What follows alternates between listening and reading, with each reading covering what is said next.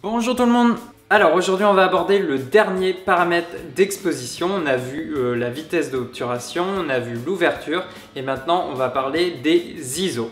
Alors je pense que ça doit vous parler un petit peu si vous suivez un peu l'actualité euh, high-tech euh, des réflexes. les constructeurs aiment bien miser beaucoup sur la sensibilité du capteur, sur les ISO et c'est quelque chose voilà, qu'ils essayent souvent de développer beaucoup. Bon, mais concrètement c'est quoi les ISO? Les ISO, c'est la sensibilité de votre capteur à la lumière. Autrement dit, c'est la mesure de la sensibilité de la lumière euh, d'une surface sensible. Une surface sensible, ça peut être la pellicule, voilà, autant de l'argentique, la pellicule euh, et avait une sensibilité à la lumière. Et maintenant, on a des capteurs numériques. Donc vous vous en doutez, les ISO c'est quand même un paramètre essentiel à la détermination euh, de votre exposition. Au temps de l'argentique, il fallait changer la pellicule parce que chaque pellicule avait une sensibilité donnée. Vous ne pouvez pas choisir les ISO comme on le peut maintenant euh, numériquement. C'est ça qui est bien voilà, avec tous les, nouveaux réflexes des appareils numériques, c'est qu'on peut sélectionner notre sensibilité qu'on souhaite avoir. Par exemple, si on va partir de 100 ISO, 200 ISO, 400 ISO, 800 ISO, voilà, vous multipliez par 2 à chaque fois votre quantité de lumière. Plus je monte en ISO, plus le capteur va être sensible à la lumière et plus mon exposition va augmenter. Alors vous vous dites, c'est trop cool, encore un paramètre d'exposition comme euh, la vitesse d'obturation ou l'ouverture qui permet d'augmenter l'exposition de ma photo. Attention, oui, mais euh, il y a toujours une contrepartie avec les paramètres d'exposition. Pour l'ouverture, la contrepartie, c'est euh, ta profondeur de champ. Ou par exemple pour la vitesse d'obturation, la contrepartie, c'est le flou de ton sujet, la stabilité que tu veux porter sur l'objet qui est photographié. Et la contrepartie avec les ISO, c'est que c'est un paramètre qui va agir directement sur le signal. Tu vas booster donc la sensibilité de ton capteur, il va être plus sensible à la lumière, tu vas augmenter ton exposition, mais en boostant trop le signal, tu vas parasiter euh, voilà, ce signal et donc tu vas amener un grain une multitude de grains sur euh, ta photo. Alors ce grain, généralement dans, le domaine de l'image, on l'appelle le bruit numérique.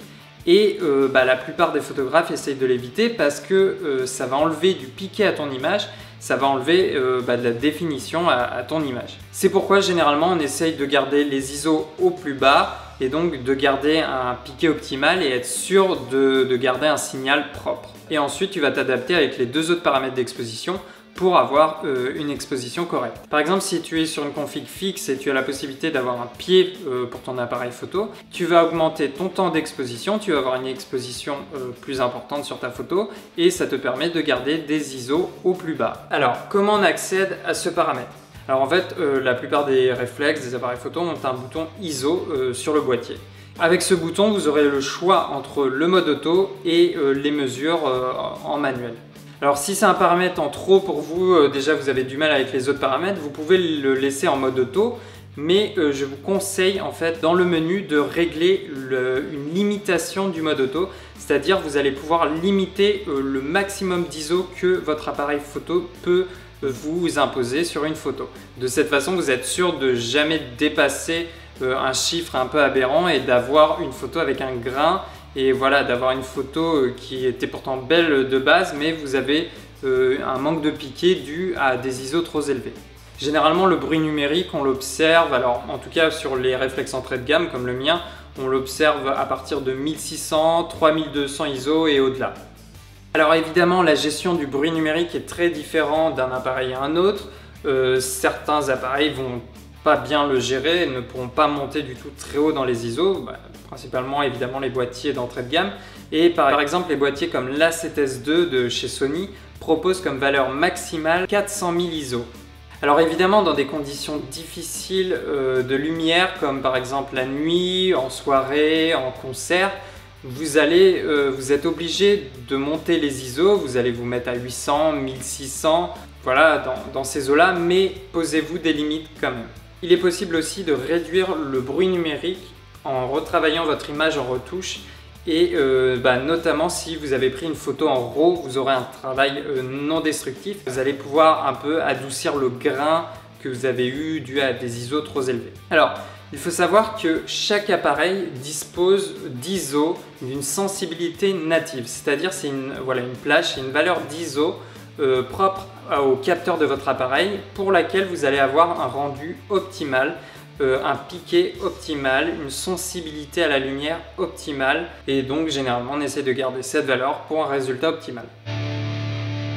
Voilà, c'est tout pour les ISO. Alors évidemment, je tiens à dire qu'on est euh, dans un milieu artistique, on parle de photographie, donc en tout cas selon moi, il n'y a pas vraiment de règle. Rien ne vous empêche de prendre des photos à des ISO assez élevés euh, si justement vous avez une intention artistique derrière là. Si vous ne savez pas ce que vous faites, c'est un petit peu débile et il n'y a aucun intérêt à monter dans l'ISO et baisser et avoir une sorte de baisse de piqué et un grain sur vos photos.